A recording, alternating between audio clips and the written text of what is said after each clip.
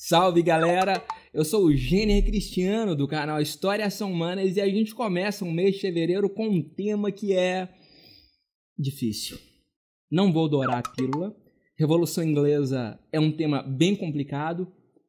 Bom, na verdade, Revolução Inglesa é um monstro. E o que eu resolvi fazer?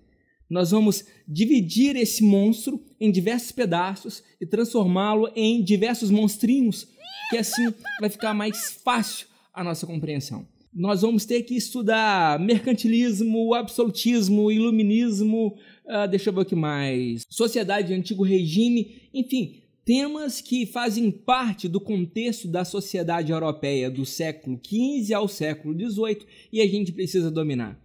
Então, você vai ter que fazer muitas revisões de temas que foram estudados anteriormente para que ao final você domine esse assunto. Eu disse domine. Eu não quero que você apenas compreenda. Eu quero domínio total, amplo e absoluto. É assim que a gente vai trabalhar. Espero que vocês gostem. Tenham uma boa aula. Hoje nós estamos começando o nosso curso de Revolução Inglesa com a aula número 1. Como já foi dito anteriormente, a Revolução Inglesa é um monstro que será dividido em pequenos monstrinhos para que você não apenas compreenda, mas acima de tudo, domine esse assunto. Essa aula é extremamente complexa, que ela está repleta de links externos.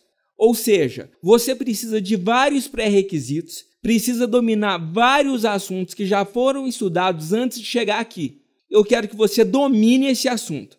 Então, toda vez que eu direcionar você para outra aula, vai lá, assista, faça anotações e só volte depois que tiver compreendido o assunto. Uma estratégia que eu vou utilizar muito nas aulas sobre a Revolução Inglesa é a repetição. Eu serei extremamente repetitivo. Você pode até achar chato, mas a repetição é uma das mais antigas táticas de aprendizagem que existe. Caso você já domine o assunto que eu estou sugerindo para a revisão, siga em frente e seja feliz. Antes de prosseguir com a aula, eu vou deixar um recado básico. Se você está gostando de nosso canal, então nos ajude. Inscreva-se, deixa seu like, deixa seu comentário, compartilhe o vídeo com os amigos e adiciona nos favoritos. Faz isso agora. A gente te ajuda com uma aula bem preparada e organizada e você ajuda a gente também. Valeu! Então, vamos à nossa aula.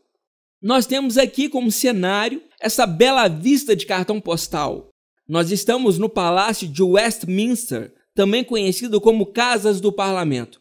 Ele é o palácio londrino onde estão instaladas as duas câmaras do Parlamento do Reino Unido. No mesmo local, do lado direito, nós temos o Big Ben, famoso relógio que ajuda a construir a fama da pontualidade britânica.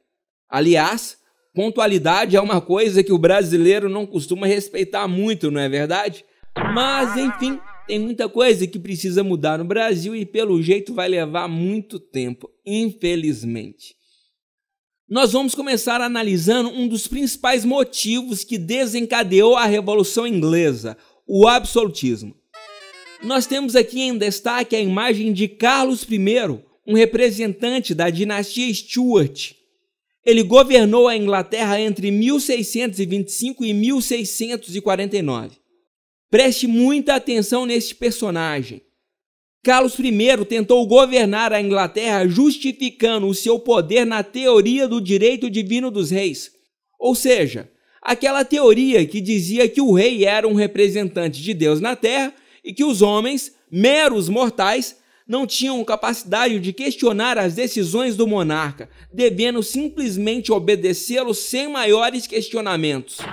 O problema é que a sociedade inglesa admirava muito mais a teoria do contrato social. Fica tranquilo que a gente vai explicar isso detalhadamente nas próximas aulas. Mas, se você quiser mais detalhes e quer fazer uma revisão nota 10, assista aos dois vídeos que História Ação Humana já produziu sobre este assunto aqui no YouTube. O vídeo 1 analisa a teoria do direito divino dos reis e o vídeo 2 analisa a teoria do contrato social. Os links estão aqui na descrição do vídeo para que você possa assistir com a devida atenção. O importante é que você saiba o seguinte: a sociedade inglesa do século XVII estava passando por inúmeras transformações, transformações políticas, transformações econômicas, transformações religiosas e transformações sociais. Ela estava se modernizando a passos acelerados. E não cabia mais espaço para as teorias que justificavam a concentração do poder nas mãos do rei como sendo esta uma vontade de Deus. Ele vai entrar em conflito com o parlamento da Inglaterra, que por sua vez tentava defender a sociedade inglesa dos abusos de poder do rei. Esse conflito entre o rei absolutista Carlos I e o parlamento da Inglaterra vai resultar em uma guerra civil. O exército do rei será derrotado pelo parlamento e Carlos I será executado, decapitado, depois de ser condenado por traição contra a Inglaterra. Então, preste atenção: este rei, um dos reis da dinastia Stuart, o Carlos I, foi o personagem que provocou um dos pontos máximos da Revolução Inglesa. Isso aqui não é novela, então você não precisa esperar o último capítulo para saber o que vai acontecer. A sua atenção está liberada para prestar atenção em outras coisas a partir de agora. Você prestou atenção em quantas vezes eu falei Carlos I nesse vídeo? Obviamente, isso não aconteceu por acaso. Vai lá e assista agora aos dois vídeos sobre o absolutismo, porque você já deve ter percebido que o absolutismo é fundamental para que você compreenda a Revolução Inglesa. Um forte abraço, galera, e até a nossa próxima aula!